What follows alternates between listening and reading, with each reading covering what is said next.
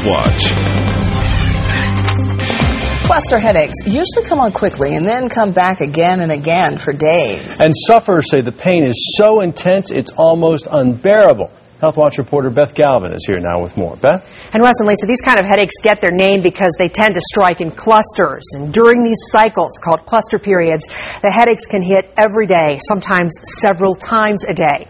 There is no cure, but there are some treatments that can help offer some relief.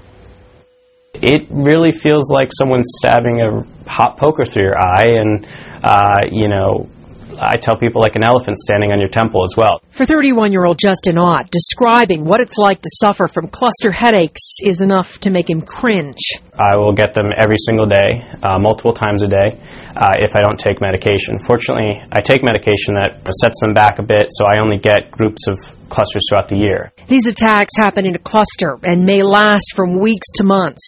Patterns of clusters vary from person to person, but most people have at least one or two cluster periods a year. Hi, Justin. How are you? Hi, how you doing? Nice to see you. See. Cluster headaches are the most debilitating of the disorders. It's also dubbed suicide headache because of its severity. The exact cause of cluster headaches is unknown, and there is not currently a cure.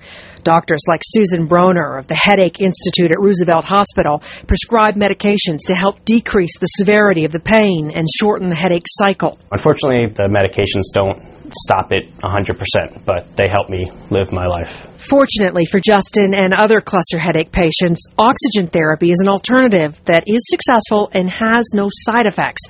And in a recently published study in the Journal of the American Medical Association, researchers found that this treatment is actually more favorable than once thought. Results were that 78% of people with cluster headache responded to high flow oxygen. They were headache free within 15 minutes of using the oxygen. And that was compared to their placebo, which was air, high flow air, in which only 20% of people responded. So there was a marked difference between the placebo and the treatment of high flow oxygen. Dr. Broner hopes to see more studies done to show just how this therapy works. But in the meantime, she's happy to see some of her patients pain free. I found oxygen to be the best abortive for me. When I'm home, I can take the oxygen, watch TV, just sitting there, and it's safe, and I don't. There's no side effects. And in rare cases, surgery is recommended for cluster headache sufferers who just do not respond to treatments like oxygen therapy or medication. If you're having headaches that disrupt, disrupt your daily life, you may want to see your doctor so that the two of you, Russ and Lisa, can kind of get to the bottom of what's causing these headaches, what they are, and how best to treat your headaches. Yeah, can give you your life back. Yes, because these people really do suffer a lot. Beth Galvin, thanks. Thanks, Beth.